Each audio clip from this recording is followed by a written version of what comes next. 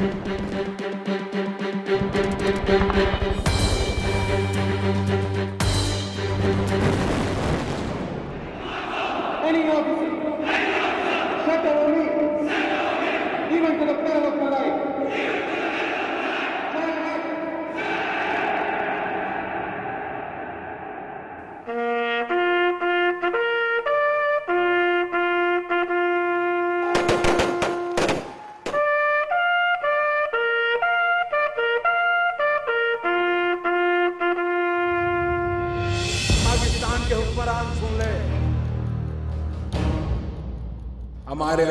जवानों का बलिदान बेकार नहीं जाएगा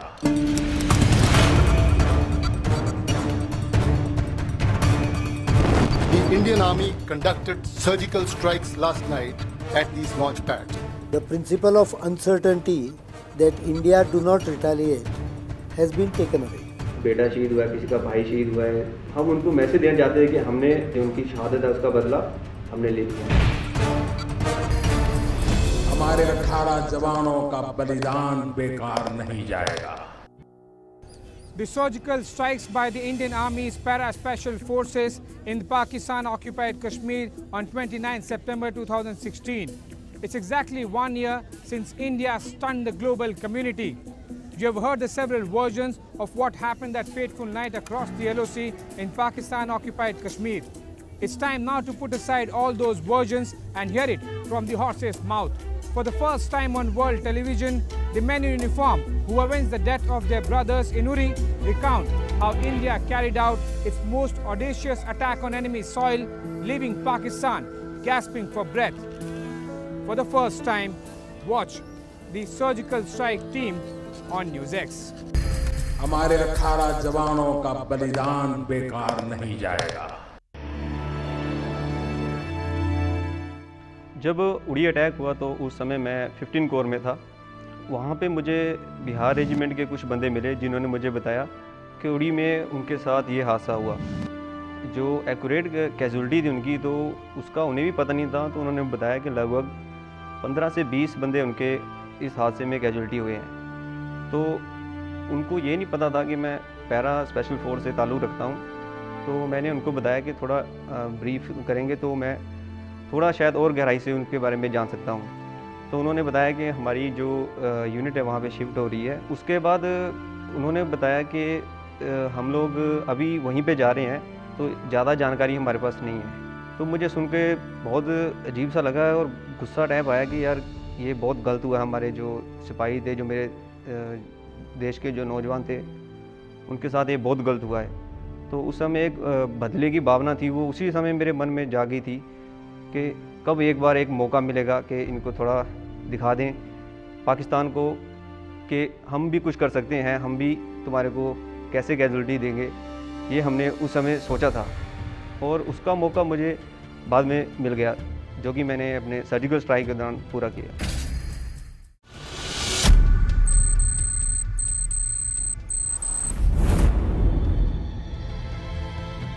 उड़ी में जब अटैक हुआ था तो उस टाइम मैं भी वहीं पे था जो वहाँ का सिचुएशन था और जब हमने अपनी कैजुअलिटीज़ देखी तो हमारे अंदर एक अलग टाइप का गुस्सा था।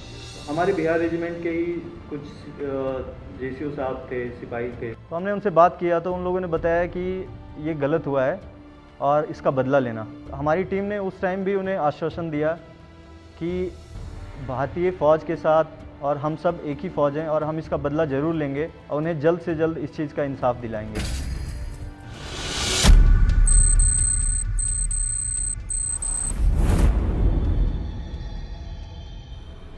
उन्होंने कुछ हटके किया था और वो मतलब एक ख़तरनाक सीन था। तो इसलिए as A S F soldier ये लगा कि नहीं, अभी हमारे एक समय आ गया कि हम इन पाकिस्तानियों को कुछ ना कुछ सबक सिखाएँ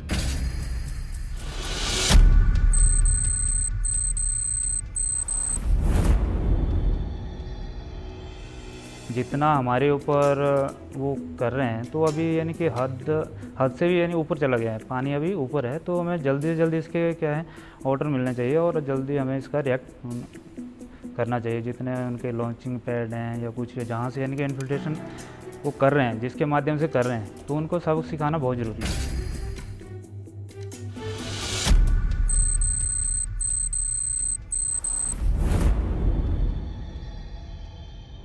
हमने ये सारा हादसा हमने टीवी में देखा तो जब उन शहीदों की हमने फैमिलियों को रोते हुए देखा तो एक दिल में कांटा सा चुभा कि इसका बदला लेना किसी भी प्रकार।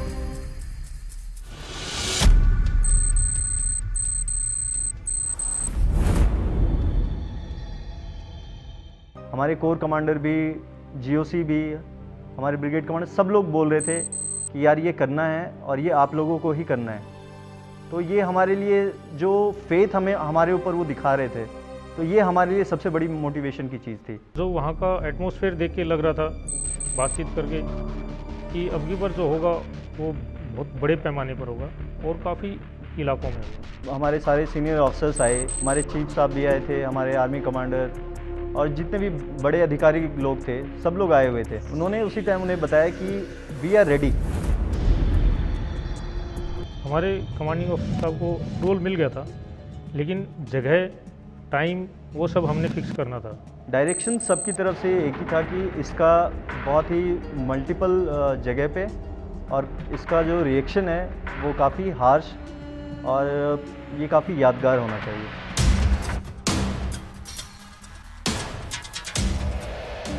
तब तक हमें ये पता नहीं था कि अभी क्या होने वाला है। उसके बाद आते ही हमारे क्या मोबाइल जमा कर दिए गए। प्लानिंग कुछ ऐसे तैयार हो गए तो कुछ नहीं उसका ये था कि कुछ होने वाला है।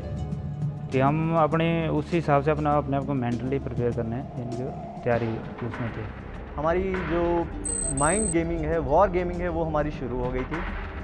जो हमारा सिलेक्शन ऑफ़ ट्रुप्स जो हमारा selection of weapons selection of equipment अगले दिन से ही हमने शुरू कर दिया था। ए टू जेड जितने भी लोग होते हैं सब चाहते हैं कि हम हर ऑपरेशन का हिस्सा हों। तो हमारे पास ऑप्शंस के लिए अगर देखा जाए तो हमारे पास सारे ट्रुप्स अवेलेबल हैं। बट सारे के सारे पूरी बटालियन नहीं जा सकती क्योंकि ऑपरेशनल आस्पेक्ट को देखते हुए टेक्निकल आस्पेक्ट्स को देखते हुए हम लोग कुछ सेलेक्टेड ट्रुप्स ही अंदर लेके जाते हैं। चौबीस तारीख को मैं पहुँचने के बाद तो मुझे वहाँ पे जो मेरे स्किल थे, उसकी वजह से मेरी सिलेक्शन हुई थी। क्योंकि हमारे जैसे काफ़ी जो लड़के हैं, सभी एक्सपर्ट होते हैं, हर एक स्किल में माहिर होते हैं। तो मुझे मेरे स्किल की वजह से सिलेक्ट किया गया था। मैं एक स्काउट मेडिको भी था स्नाइपर भी था। मैं उस जो ट्वेंटी एट का एरिया था, उसमें पहले भी रह चुका था और एरिया हमने देखा हुआ था वो। और दूसरा क्या, मैं मेडिकल में था एक। मेडिकल मेरा स्किल था, इसलिए मेरे को मेडिकल के तौर पे भी बुलाया गया और नेविगेशन भी लगाया गया उस रास्ते तक सभी पार्टी को पहुँचाने के लिए। उसमें कम्युनिकेशन मेडिकल वेपन डेमोलिशन सभी स्किल में एक एक बंदा हर स्कोड में जैसे सात आठ बंदे एक स्कोड में हैं तो उसमें सभी में एक एक स्किल का मतलब जो कमांडो है माहिर होता है। सभी स्किल्स के हमने एक ऐसा कंपोजिशन बनाया था, जिसमें तीन चार पर्सन जो हैं, वो डेमोलेशन क्वालिफाइड हों तीन चार के आसपास मेडिकल स्पेशलिस्ट हों। कुछ उसमें वेपन स्पेशलिस्ट हों या उसमें कुछ ऐसे हों जो आईडी स्पेशलिस्ट हों। तो इस प्रकार का एक कंपोजिशन जो हमने तैयार करना था। ट्रुप्स के सिलेक्शन करने के बाद हम लोगों ने अपने टारगेट से रिलेटेड और ऑपरेशन से रिलेटेड जो अपना हमारा मिशन था, उससे रिलेटेड ट्रेनिंग की, उससे रिलेटेड जितने भी हमें डॉक्यूमेंट्स की ज़रूरत थी, जितने भी हमें मैप्स की, जितने हमें अलग अलग चीज़ों की ज़रूरत थी, वो सारा हमने कलेक्ट किया। सर्जिकल स्ट्राइक की प्रिपरेशन के लिए सबसे पहले जो हमारा टारगेट था, उसका हम लोगों ने सैंड मॉडल उसका जो सेम टारगेट जैसा कि हमें ग्राउंड पे मिलेगा ऐसा टारगेट हमने बनाया। फिर उसके ऊपर हमने वॉर गेमिंग की। जिसमें कि हमारे सारे के सारे ट्रुप्स जिन्हों जिन्होंने उसमें हिस्सा लेना था, वो सारे बैठ के फिर पूरी पूरी रात हम लोग उस पर डिस्कशन करते थे कि कहाँ से क्या पॉसिबिलिटीज़ है, हम कैसे जाएँगे, कैसे इसे कंडक्ट करेंगे, कैसे इसे कैरी आउट करेंगे, और उसमें जितने भी कंटिजेंसी प्लानिंग सब कुछ हम लोगों ने उसे लगभग दो रात और दो दिन में बैठ के ये सारा प्लानिंग किया। मैं ट्वेंटी डिव कुपवाड़ा वाली पार्टी में था।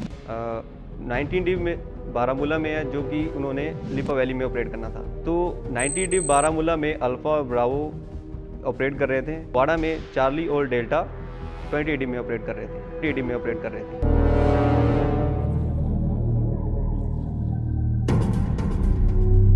जो हमारी सबसे पहले थी, वो हमारी थी प्रिलिमिनरी डेकी जैसे कि हमारे जो टारगेट्स थे तो उन टारगेट्स पे जाने के लिए हमने लगभग आठ दिन पहले से ही अपनी रेकी टीम जो होती है, हमारी सीटीआर जिसे हम बोलते हैं क्लोज टारगेट रेकी टीम तो हमारी अलग अलग चार से पाँच क्लोज टारगेट रेकी टीम अलग अलग डायरेक्शंस थे, जो हमारे टारगेट की प्रिलिमिनरी रेकी के लिए गई।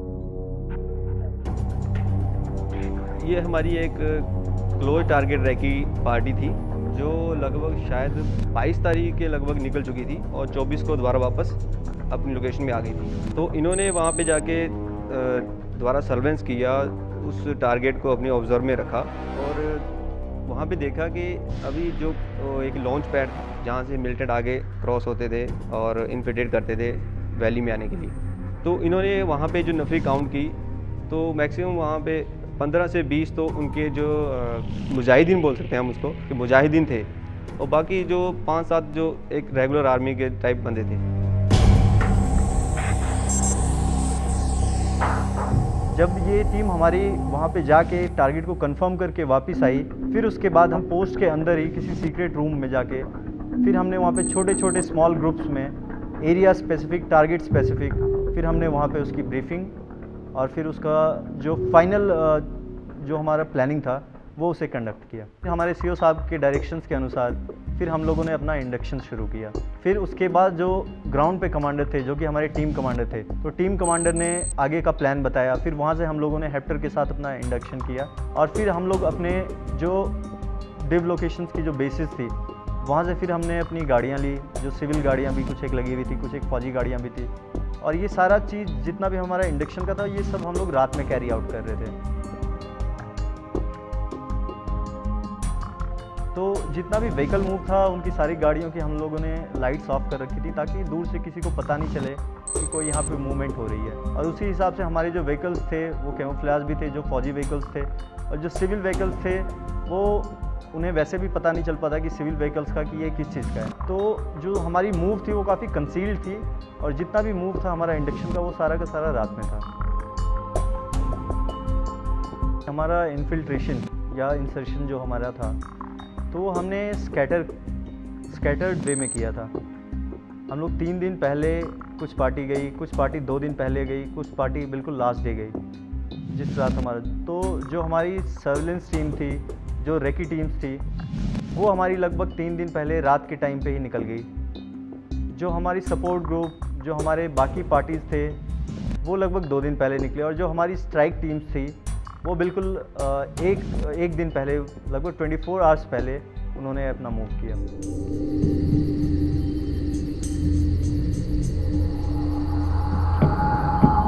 रात को हमने मूव किया लगभग साढ़े ग्यारह बजे ट्वेंटी सेवन को। तो कुछ पार्टी हमारी ग्यारह बजे निकली, कुछ सवा ग्यारह, कुछ साढ़े ग्यारह, ऐसे हमने छोटे छोटे ट्रुपों में अपनी आगे पार्टियाँ भेजी। तो वहाँ से हम लोग जो हमारी एलसी की लास्ट पोस्ट थी, वहाँ से लगभग आधा किलोमीटर पहले हमारे गाड़ियों ने ड्रॉप कर दिया। वहाँ से हमारे ट्रुप जैसे जो पार्टी पहुँचती थी, हम लोग वहाँ से अपना अलग अलग मार्च करते गए। हम लोगों ने लगभग दो से तीन और कुछ एक टारगेट्स के लिए तीन से चार रूट का भी सिलेक्शन किया था और उसकी हमने क्लोज टारगेट रेकी भी की। उस रूट पे हम लोग चल के उस रूट पे प्लेसेस आइडेंटिफाई करके आए कि हमें कहाँ से फायर करना है, कहाँ से आइडेंटिफाई करना है, किस जगह पे हमारी सपोर्ट टीम लगेगी, किस जगह पे हमारी स्ट्राइक टीम जाएगी। तो ये सारा हमने अपना डिस्कशंस में और ये सारा चीज़ हमने ग्राउंड पे जाके इंश्योर करके आए थे। वो इतना डिफ़िकल्ट रूट था कि 70 डिग्री या 65 70 डिग्री का ग्रेडियंट था नीचे चढ़ने के लिए। जब हम गए तो हम कंटिन्यू रोप लगाते हुए गए वहाँ पर और छोटी छोटी टुकड़ियों में बिल्कुल प्रॉपर सर्वेलेंस करते हुए कि एक घंटे में मुश्किल से 100 से 150 मीटर हम मूव कर पाए। सभी का लोड मैनेजमेंट बराबर था। अप्रोक्स 30 से 35 केजी वेट था सभी के पास, जिसमें उसका आम समनेशन खुद का इंडिविजुअल का पर्सनल सामान क्लोथिंग ये सब उसमें राशन। हमारे स्क्वाड में हम लोग अपना पर्टिकुलर स्कॉड वेपन्स और अपना पर्सनल वेपन्स कैरी करके गए थे। तो हर एक वेपन का जितना भी एमिनिशन होता है और जो इस ऑपरेशन के हिसाब से रिक्वायर्ड था, वो सारा का सारा एमिनिशन चाहे वो मैगजीन्स हो, चाहे वो हमारे ग्रेनेड्स हों, चाहे वो हमारे रॉकेट लॉन्चर्स के राउंड्स हो तो वो सारा हम लोग इंडिविजुअल हर एक इंडिविजुअल अपने अपने रक्सैक में कैरी कर हैं हमारे पास पर्सनल वेपन है असाल्ट राइफल्स हैं अपनी। उसके बाद में स्पोर्ट वेपन में हमारे पास मशीन गन्स हैं रॉकेट लॉन्चर्स हैं ये सब है हमारे पास। हमारा इंटरनल कम्युनिकेशन था और इंटरनल कम्युनिकेशन से हमने एक बेस कम्युनिकेशन बनाया हुआ था। बेस से हम अगर हमने कुछ लेना हो तो हम बेस से कॉन्टैक्ट कर सकते थे। बाकी दूसरी टीम से बेस का दूसरी टीम के साथ कॉन्टैक्ट था। यूएवीज ये काफ़ी हायर लेवल पे हायर हेडक्वार्टर्स के लेवल पे मॉनिटर हो रहा था। जिसकी जानकारी इवन ऑन ग्राउंड काफ़ी ट्रूप्स को भी या हमें भी काफ़ी वेग नॉलेज ही था बट हमें पता था कि UAVs at the higher headquarter जो सबसे हमारा होता है। तो वहाँ से मॉनिटर किया जा रहा था ये सारा का सारा। जब हमने यूएवी को ऊपर उड़ते हुए देखा तो हमने टीम कमांडर साहब को इन्फॉर्म किया, क्योंकि हमें ये पता नहीं था कि ये पाकिस्तान की है कि हमारी है। फिर टीम कमांडर साहब ने बताया कि ये अपनी है मतलब हम आड़ ले ली थी उसको देख के हमने कि सारे के आड़ में हो गई, सारे छुप गए थे। लेकिन फिर टीम कमांडर साहब ने बोला, चलते रहो, ये अपनी है। जो हमने ओपन पैच का एरिया था, वो हमने क्या लेट लूट के, क्योंकि नीचे से उनका गाँव था, पाकिस्तान का, उधर से सामने दिखता था, लेकिन जो ओपन पैच था, वो हम लेट के उसको रेंग के हमने पार कर दिया था। 28 को रात को 11 बजे के करीब उन्होंने एक हैवी फायर शुरू कर दिया। जो कि उनकी जो रूटीन फायर थी उसमें शामिल नहीं था। क्योंकि तो हमने पहले उसे टारगेट को देख रखा था तो वो क्या करते थे? कभी कभी रात को 10 बजे 11 बजे कोई रूटीन नहीं था, पर दो या तीन राउंड फायर करते थे। Within two hours three hours ऐसे में। पर उस दिन 11 बजे के बाद 28 तारीख को उन्होंने काफ़ी मात्रा में फायर करना हमारे शुरू कर दिया। वो ऐसा नहीं था कि हम डिटेक्ट हुए, वो उनको थोड़ा डर लग रहा था। वो लोग भी ऐसा लग रहा था हमें जैसे उन्हें भी पता हो कि हमारे ऊपर कुछ होने वाला है। तो हम लोग जब रात को मूव कर रहे थे तो वो लोग अपने जस्ट नीचे जो नाला होता है तो नाले में वो लोग रात में दो दो राउंड तीन तीन राउंड डिफरेंट टाइम इंटरवल्स पे फायर करते थे। जैसे सेंट्री चेंज होते हैं तो सेंट्री चेंज पे फिर वो फायर करते हैं। तो वो लोग अपना फायर कर रहे थे और एक रात पहले उन्होंने जो हमारे एरिया में काफ़ी ज़्यादा फायरिंग की थी। वो लोग भी काफ़ी डरे हुए थे, वो लोग भी एक्सपेक्ट कर रहे थे। फायरिंग की वजह साइकोलॉजिकल इफ़ेक्ट था। बेसिकली वो लोग भी डरे हुए थे कि शायद उनके ऊपर कुछ होगा। वो पहले ही फायर करके दिखाना चाहते थे कि अ, हम लोग तैयार हैं और यहाँ पे कोई नहीं आ सकता है। तो वो हमें डराने के लिए भी और खुद के दिल से डर निकालने के लिए भी फायरिंग कर रहे थे। हम 28 तारीख को लगभग साढ़े दस ग्यारह बजे उधर जहाँ हमारा टारगेट था उससे 200-300 मीटर पीछे थे। पीछे हमने होल्ड किया और उधर से हमने क्या, दोबारा रेकी करना शुरू कर दी उनकी। हम लोग, उनके सेंट्रीज को हम लोग देख पा रहे थे। उनकी पेट्रोलिंग पार्टी जो घूम रही थी तो उनके हथियार जैसे कि वो पीछे लेके घूम रहे थे अपने बैग पे। तो ये, हम लोग ये सारा चीज़ ऑब्ज़र्व कर रहे थे। बस हमने जो डिसाइड किया था कि इस पर्टिकुलर टाइम पे हम लोग अपना स्ट्राइक करेंगे। तो हम लोग बस उस अपॉर्चुन टाइम का वेट कर रहे थे। जब अपॉर्चुनिटी की बात आएगी, जब हमें स्ट्राइक का टाइम आएगा, हम अपने टाइम के हिसाब से अपने अपना सारा चीज़, अपना सारा एम सब लोग एक साथ जहाँ पे भी हमें स्ट्राइक करना है, उस चीज़ को देखते हुए फिर हम स्ट्राइक करेंगे। जैसा कि ये पोस्ट एलसी से ज़्यादा दूर नहीं था तो यहाँ पे उनके मिलिटेंट्स आके यहीं से लॉन्च भी करते हैं वो। तो जैसा कि हम लोगों ने देखा, जैसा मेरे सामने जो विजुअल था, बाकी टीमों का अलग अलग विजुअल था, जो सपोर्ट ग्रुप था तो वो लोग हो सकता है कि किसी अलग डायरेक्शन से देख रहे थे, हम लोग किसी अलग डायरेक्शन से देख रहे थे। तो उनको 10 से 12 और हमें अलग से 10 से 12 मतलब अलग अलग तो हमने आपस में देखा कि ड्रेस किस टाइप का है, इससे हम स्ट्रेंथ का पता लगा सके कितने लोग हैं वहाँ पे। तो उस हिसाब से हमें अलग अलग जितनी सात आठ पार्टियाँ थी तो उनको अलग अलग जगह से अलग अलग एंगल से देख रहे थे। तो हमें पोस्टों के बाहर घूमते हुए काफ़ी लोग नज़र आ रहे थे। जैसा कि टारगेट का जो लेआउट था तो उसमें बहुत सारे उनके सेंट्री पोस्ट थे, उनके लिविंग एरिया थे, फिर रोड के दोनों साइड में टारगेट था। तो टारगेट में जैसा कि दो तीन दिन पहले हमने देखा कि आठ से दस गाड़ियाँ आई, वहाँ से काफ़ी स्ट्रेंथ वहाँ से नीचे उतरी। और वो स्ट्रेंथ रोड के हमारी साइड में, जंगल की तरफ़ वाले कुछ स्ट्रक्चर्स में, वो वहाँ पे रुके हुए थे। तो जैसा कि हम लोग देख रहे थे कि ये पर्टिकुलर लोकेशन से जहाँ पे ये लोग रुके हुए हैं। और हम लोग उस टारगेट को क्लोजली मॉनिटर कर रहे थे कि हरकत किस हिसाब से कर रहे हैं। तो जैसा उनका तरीका था हथियार कैरी करने का तो वो अपने बैक पे तो शायद वो मुजाहिद या उनके जो इरेगुलर फोर्सेस होंगे, शायद वो होंगे। और कुछ लोगों का जो ड्रेस था, जो उनके उन्होंने पहन रखे थे, जो पठानी सूट वगैरह जो उन्होंने डाल रखे थे, उससे हमें लग रहा था कि ये हो सकता है कि ये सारे मिलिटेंट्स वाले ग्रुप हैं। और उनके अलग अलग जैसे कि जो ट्रैक सूट था तो वो शायद उनके मुजाहिद्स के थे और जो पठानी सूट वगैरह में घूम रहे थे, वो शायद उनके सारे के सारे मिलिटेंट्स थे।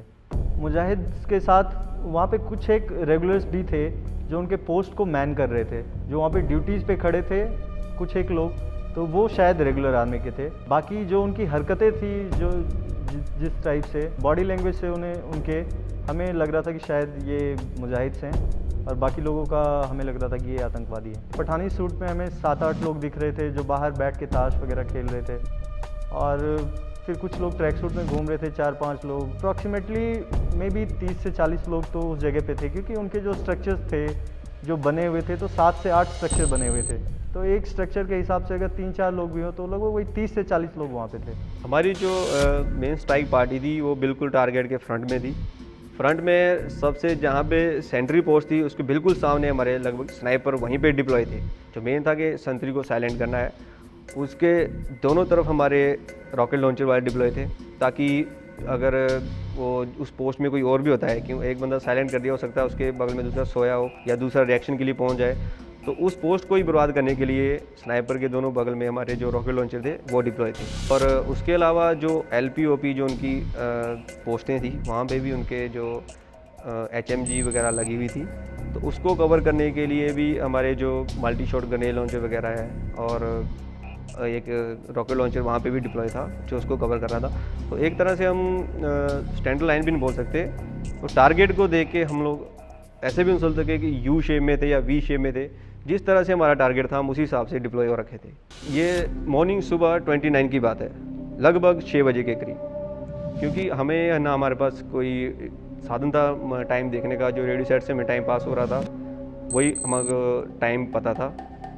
तो यू ए वी के हल्की हल्की आवाज़ सुनाई दी तो हमें पता था इस ऑपरेशन में यू ए वी इन्वॉल्व होने वाला है। तो हमने जनरल हमें थोड़ा पता चल गया कि अभी फायर शायद शुरू होने वाला है। हम लोग वैसे ही प्रिपेयर थे, तब तक हमारे मेजर साहब थे, जो हमारे टीम कमांडर थे, उन्होंने हमें पास कर दिया कि ऑल पार्टी अभी रेडी हो जाओ। तो हम लोग अपनी अपनी पोजीशन लेके सभी बैठ गए। फायरिंग के लिए पहले साहब ने बता दिया था, जो टीम कमांडर साहब थे, कि मैं इतने बजे रेडी कर दूँगा, उससे पंद्रह मिनट पहले सारे रेडी हो जाएँगे। तो लगभग सुबह फ़र्स्ट लाइट में साहब ने एक बार रेडी कर दिया सभी पार्टी को ऑल पार्टी को, कि सभी रेडी हो जाओ। अभी पंद्रह मिनट में हमने फायर स्टार्ट करना है।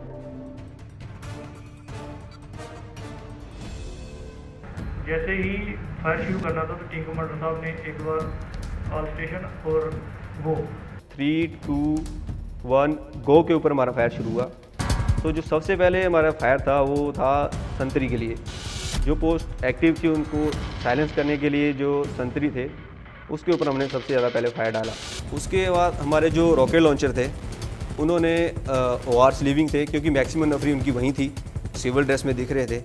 सभी दो बैरिक थी जो ओ आर लिविंग थी वहाँ पे रह रहे थे। तो उसके बाद, सेंचुरी के बाद उन्होंने ओ आर लिविंग थी उसको कवर किया। उसके बाद जो हमने खुद नाम दिया था एक ऑफिसर हट, उसको कवर किया। और उसके बाद उनका जो एक कुक, उसके पास एक लाइन थी, जहाँ पे लगभग पाँच या छः लोग रहते थे। तो वहाँ पे हमने फायर किया। उसके बाद फिर हमारे सपोर्ट वेपन्स ने, जब हमारा एक बार क्लियरेंस देने के बाद कि हाँ अब आप फायर कर सकते हो। तो उसके बाद हमारे सपोर्ट वेपन्स ने फायर किया।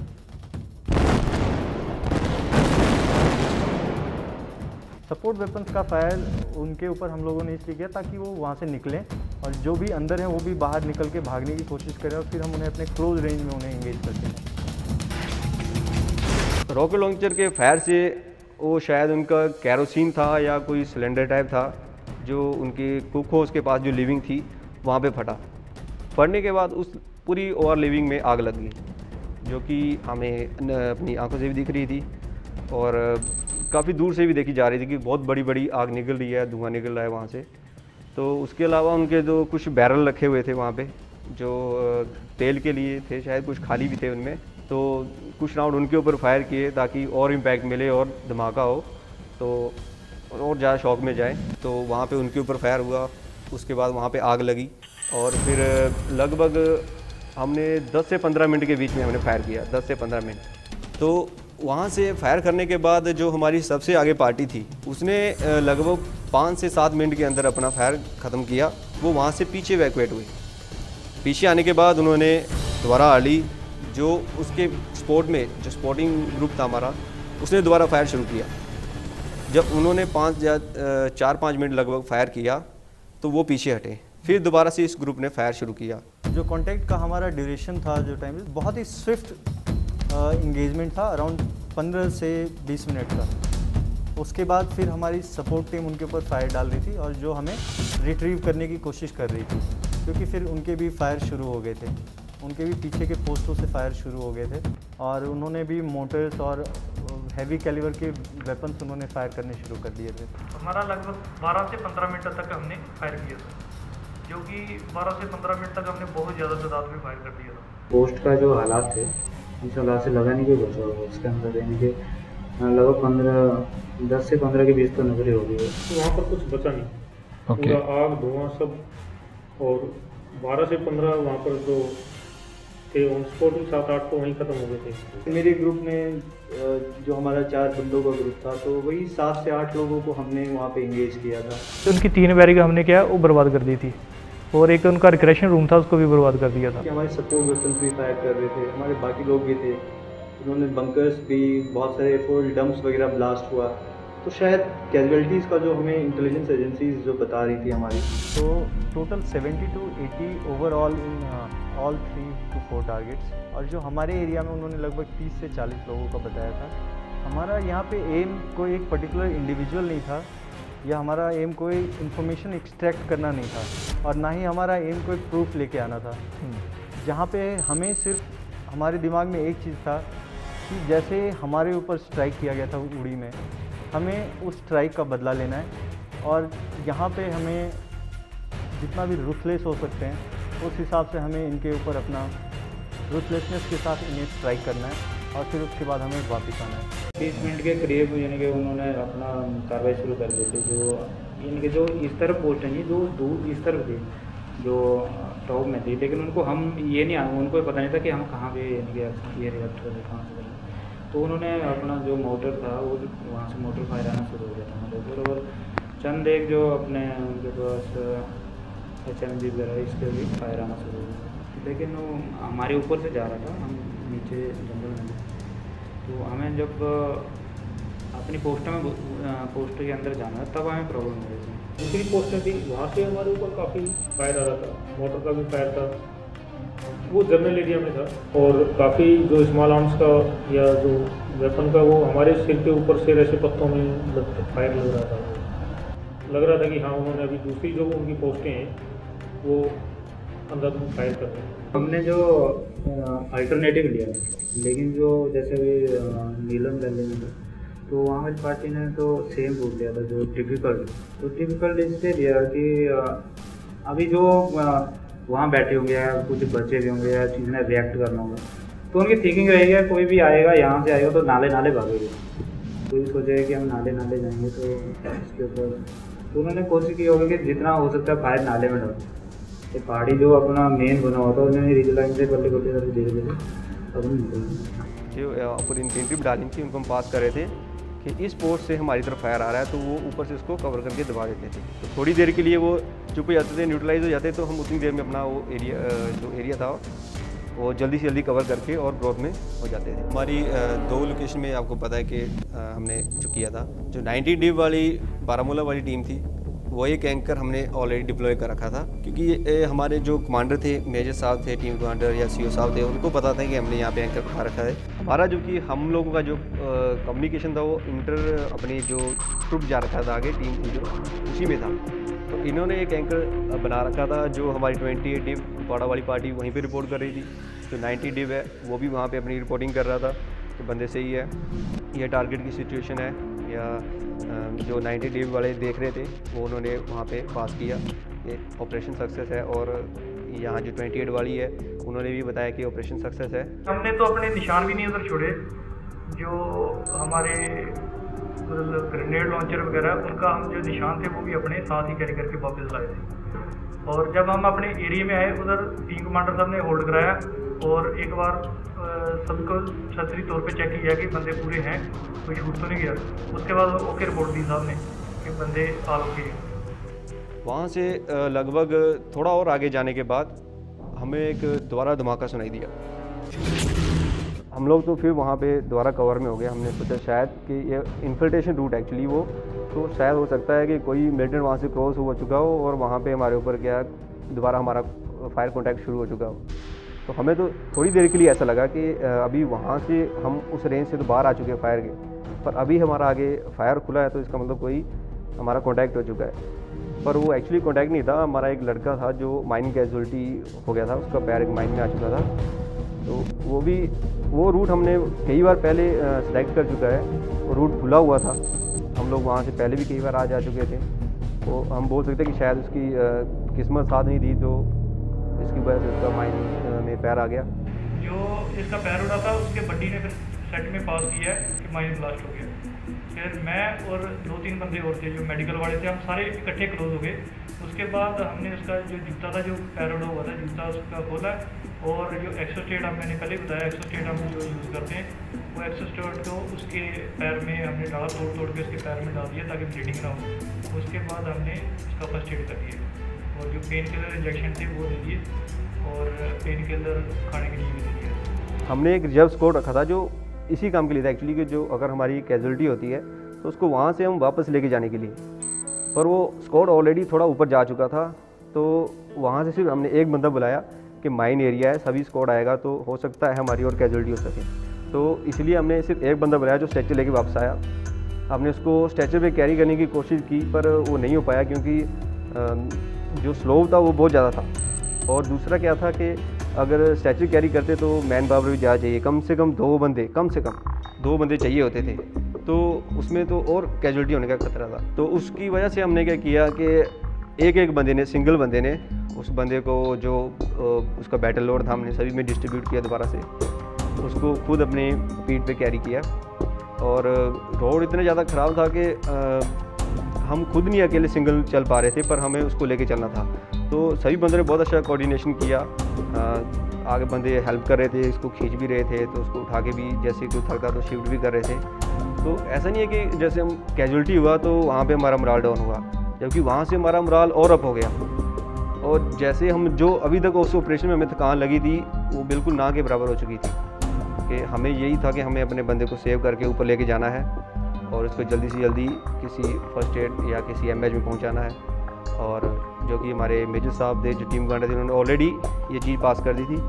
तो जब तक हम अपनी पोस्ट के लगभग एक या डेढ़ किलोमीटर पीछे थे, तब तो एक पार्टी ऊपर से नीचे आ चुकी थी हमें वहाँ से रिलीव करने के लिए कैजुअलिटी को। तो वहाँ से उन्होंने हमें रिलीव किया। तो जैसे ही हम ऊपर पोस्ट में पहुँचे और विद इन टू और फाइव मिनट में हमारे हैली आ चुका था तो हैली में उस लड़के को वहाँ से जल्दी से जल्दी एवैक्यूएट किया गया। हम लोग ऊपर पहुँचे और सभी ने एक साथ बैठे, थोड़ा रिलैक्स किया। हम अप्रोक्स हमारी जो फ़र्स्ट जो बडी थे वो अप्रोक्स साढ़े दस से ग्यारह बजे के बीच में ऊपर मतलब बिल्कुल सेफ़ बंकर में पहुँच गए थे। तो उसी के कंटिन्यू पीछे पीछे हर गैप में, हर गैप में। मतलब हम इसीलिए छोटी टुकड़ी में मूव कर रहे थे कि ताकि कोई इंसिडेंट ना हो। बड़ा टारगेट दिखेगा तो हो सकता है फायर वहाँ पर कर दे।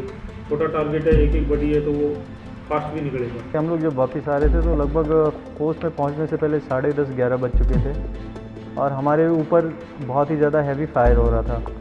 तो जिससे कि हम लोग मेक आउट कर सकते थे कि वहाँ पे आवाज़ें हो रही थी, ऊपर पत्ते गिर रहे थे टूट के। तो हम लोग मेक आउट कर सकते थे कि ये लोग उसके ऊपर जनरल एरिया में हमारे ऊपर फायर कर रहे हैं। बट वहाँ का जो फॉलिएज इतना डेंस था कवर इतना ज़्यादा था तो they could not bring down effective and accurate fire जैसे कि हर टीम में 20 से 30 लोग थे तो हर टीम में ऑफिसर और जे अराउंड वन थर्ड हमारी जो स्ट्रेंथ थी उसमें ऑफिसर्स और जे थे। आइडली ऐसा नहीं होता है कभी।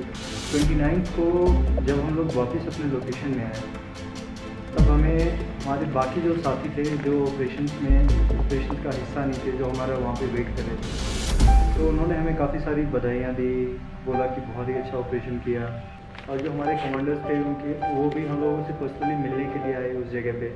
और फिर उन्होंने बताया, काफ़ी अच्छा उन्होंने, उन्हें फील हुआ और उन्होंने हमें भी बताया कि it's a great pride moment so this was really great to know लगभग दो बजे के करीब हम जो इंडियन पोस्ट थी, वहाँ पे आ चुके थे। तो उन्होंने नॉर्मली उनको भी इतना पता नहीं था, क्योंकि वो भी नेटवर्क से कट ऑफ़ थे। तो उनको भी पता था कि ये ऑपरेशन करके आए, उन्होंने हमारे लिए खाना वगैरह रखा, हमने खाना खाया। तो वहाँ से लगभग साढ़े पाँच के करीब हम लोग शाम को 29 को हम वहाँ से मार्च कर गए। तो ब्रिगेड हेडक्वार्टर में हमारे को दोबारा से रोका गया। तो उस समय हमें तो ऐसा लग रहा था कि चल थके हैं, थोड़ा अपनी लोकेशन में जाएँगे, आराम से रिलैक्स करेंगे। पर उस समय हमें ब्रिगेड में रोका गया। तो सभी कुछ हमें अलग से तरीके से देख रहे हैं। वैसे तो अगर हम कहीं जाते हैं तो वैसे पैरा को तो सभी अलग से देखते हैं, पर क्या था उस दिन कुछ ज़्यादा ही अलग से देख रहे हैं, सभी देख रहे हैं, गुड सर अच्छा काम करके आए वेरी गुड सर बहुत तगड़ा ऑपरेशन किया। तो हमने सोचा, हमें अपने ऑपरेशन के बारे में इतना पता नहीं, जितना ये बोल रहे हैं कि आपने बहुत तगड़ा ऑपरेशन किया, इतने बंदे कैजुअलिटी कर दिए उनके, और इतने टेररिस्ट जो कैंप थे उड़ा दिए। तो तब तक हमें कुछ पता नहीं था, एक ब्रीफिंग हॉल था, वहाँ पे ब्रिगेडी साहब हमारे से मिलने आए, उन्होंने सभी को बधाई दी। कि बहुत अच्छा ऑपरेशन किया सक्सेस रहा। और तो हमें फिर भी इतना पता नहीं था कि क्या हुआ है कितना बड़े किस लेवल पे हुआ है। जब हम लोग अपने जो हेडक्वार्टर्स थे वहाँ से हमें जो भी बटालियंस मिल रही थी जो भी एन रूट हमें जितनी भी बटालियंस मिली तो वो सब हमें काफ़ी मुबारकबाद दे रहे थे। वो अपने अपने लोकेशन पे बिठा के बोल रहे थे कि आज अभी आपको आगे नहीं जाना अभी आपको हमारे पास ही रुकना है रात में। यहाँ पे आप लोग सेलिब्रेट करोगे तभी जाओगे। तो हर जगह अच्छे से स्वागत किया जा रहा था। उसके बाद हमें बताया गया कि तुम लोग इस टाइम टीवी पे काफ़ी तुम्हारी चर्चा हो रही है कि सर्जिकल स्ट्राइक हुआ है।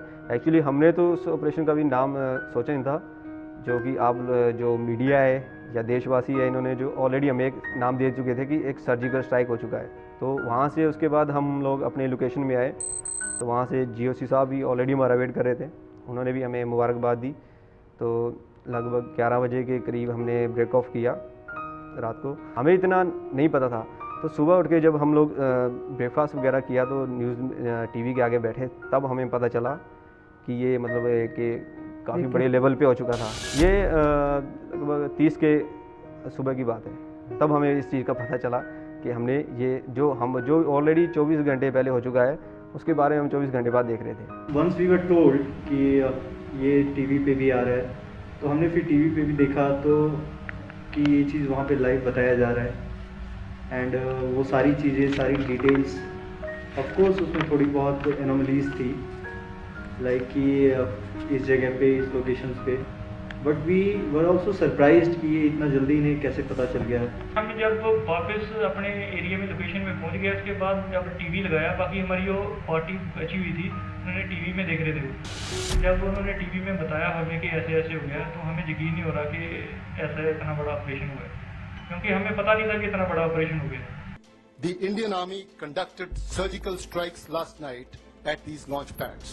Celebration हमारा एक तरह से बोला है तो दिन कुछ स्पेशली था क्योंकि ऑलरेडी हम न्यूज़ में देख चुके थे हमने एक बहुत बड़ा काम करके देश को दिया है तो एक तरह से हम अपने गॉड का भी थैंक यू कर रहे थे कि हम सभी सेफ़ आ गए। तो उसके बाद हम लोग अपनी डीब्रीफिंग में गए। वहीं से हमारी पार्टी शुरू हो शुरू हो चुकी थी। तो उसके बाद बस हमारा बड़ा खाना वगैरह हुआ। काफ़ी जगह से बाद में भी हमें कंग्रेचुलेशन बोला जा रहा था कि बहुत अच्छा काम किया आपने। और सुन के भी हमें भी अच्छा लग रहा था कि हमने देश के लिए, अपने जवानों के लिए, उनकी शहादत के लिए हमने ये काम किया। उसी दिन फिर हमने वहाँ पे बड़ा खाना भी ऑर्गेनाइज किया। और फिर वहाँ पे जितने भी आसपास की जितनी बटालियंस थे तो उन सब के ऑफिसर्स और उन सब के इम्पोर्टेंट पर्सन सब लोग आके हम लोगों ने फिर वहाँ पे सेलिब्रेट किया। नया नया सर्जिकल स्ट्राइक हुआ था। उस वक्त तो हमें लगता था कि बदला हमने ले लिया। लेकिन उसके बाद उनकी हरकतें दोबारा ऐसी चलती रही तो अभी दोबारा उनके साथ ऐसा करने का इरादा है। कि अगर हाई इंफॉर्मेशन से दोबारा हमें परमिशन मिले तो दोबारा उनके साथ ऑलरेडी हम न्यूज़ में देख चुके थे हमने एक बहुत बड़ा काम करके देश को दिया है। तो एक तरह से अ, हम अपने गॉड का थैंक यू कर रहे थे कि हम सभी सेफ़ आ गए।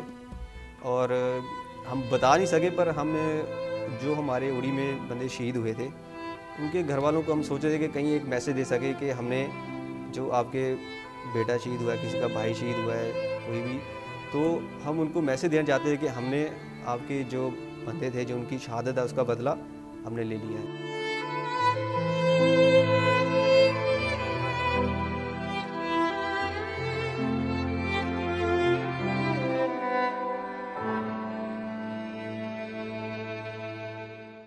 लगभग हमने दो दिन तक अपने मोबाइल्स किसी को हमने नहीं दिया ताकि थोड़ा सा ये डाई डाउन हो जाए ये मैटर। बिकॉज़ ये काफ़ी ज़्यादा मीडिया में चर्चे की चीज़ थी और मैं नहीं चाहता था कि किसी की फैमिली या किसी को थोड़ा डिस्टर्बेंस हो किसी भी साइड से और उनका मोबाइल ट्रैक किया जाए या टैप किया जाए और किसी के लिए बाद में कोई प्रॉब्लम हो। इसीलिए हमने मोबाइल में लगभग दो दिन बाद दिए। हमने कहा कुछ एक ऑफिशियल नंबर्स थे जिनसे फिर हमने उनसे उनकी फैमिली से बात वगैरह करवाया था। Okay. And they were able to communicate 28 को जब हम लोग लगभग दोपहर को दो बजे के करीब हम लोग टारगेट से आ, दो तीन सौ मीटर की दूरी पे थे। तो वहाँ से हमारे हमें एक गाँव दिख रहा था उनका। तो उस गाँव में नॉर्मल एक्टिविटी उस दिन भी। लोग खेतों में काम कर रहे थे। स्कूल था स्कूल में बच्चे पढ़ रहे थे। जैसे बेसिकली जो प्राइमरी स्कूल सॉरी जो सरकारी स्कूल होते हैं, जैसे उसमें पढ़ाई चलती है सेम उसी तरह टीचर बैठा था। लाइन लगी थी, बच्चे पढ़ रहे थे। और उस गाँव में बिल्कुल नॉर्मल था कि कुछ ऐसा एक्टिविटी कुछ खास नहीं था कि जो हमारे ऑपरेशन में हमें प्रॉब्लम कर सकता था।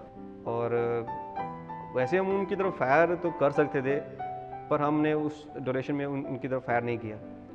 क्योंकि ये काम जो एक तरह से बोला जाए कि बुजदिली का है कि छुप के फायर करना और सिविलियन के ऊपर फायर करना ये मिलिटेंट करता है। हम लोग एक स्पेशल फोर्स से ताल्लुक़ रखते हैं। हमारा काम है जो हमारे काम में हमारे देशवासियों के लिए जो हमें जो तंग करेगा हमारे ऊपर अटैक करेगा कि हम सिर्फ़ उसी को मुँह तोड़ जवाब देना चाहते थे।